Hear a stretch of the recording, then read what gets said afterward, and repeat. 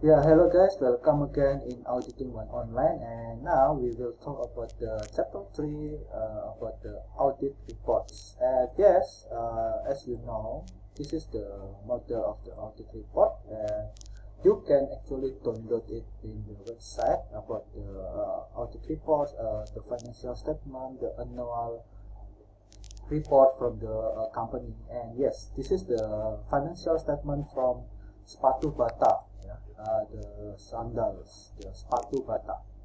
And yes, this is the report from uh, 2014. And yes, in here I want to show you about the audit report. So first, firstly, this is uh, the cover from the financial statement. After that, they have the uh, director's management or management reporting. Here, from the management report, uh, from the management director, yeah, uh, they have to sign about their uh, responsibility uh, this is we are responsible for the preparation and presentation of the financial statement. Something like that.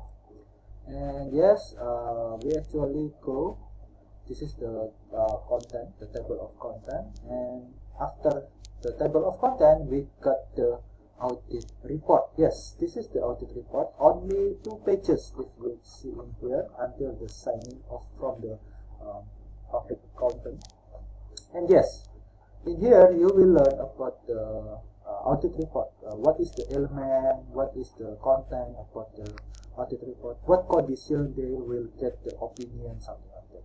Okay so we will go to the powerpoint. And this is the summary about the chapter 3 yeah you will uh, learn about the elements of the audit reports for the unmodified opinion. They have the title uh, address to who introductory paragraph, management responsibility, auditor responsibility, opinion paragraph, signature, and the date. And yes, for the uh, element of the audit report, the point six is the most important one because they will know what kind of opinion they will get for this company and yes you will uh, learn about the opinion. Yes because opinions once again uh, is the express uh, from all of the process uh, audit process audit result audit judgment all of them combined into one paragraph only. And yes all of the hard work from the auditor only combined with only one paragraph. It said the opinion yeah? And there are five kind of opinion. It's first the unmodified opinion, unmodified opinion with explanatory paragraph, the qualified opinion, adverse and disclaimer. Yes, we will talk about it later. And yes, this is the uh, important part, the, the main content for, for this chapter. And you will learn about the condition. The condition from the unmodified opinion in here, there are four.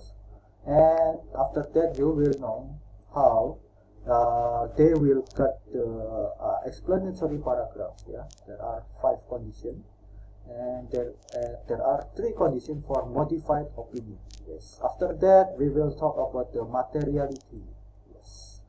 And yes this is the summary for the chapter 3 and once again we will only talk about the audit reports. It's very important to to you to know about the auditor profession because once again the end of the result of the work of the auditor. They will express it with the audit reports. And once again from the audit reports the most important things is the opinion paragraph. And because this is the result from all of the audit process yes. So yes this is the summary for the chapter 3 we will now uh, take a look for the next video. Okay? See you again